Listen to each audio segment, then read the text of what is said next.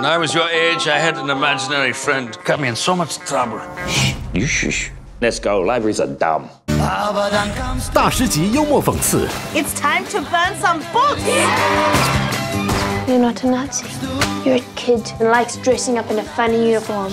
The hips, should they be bigger?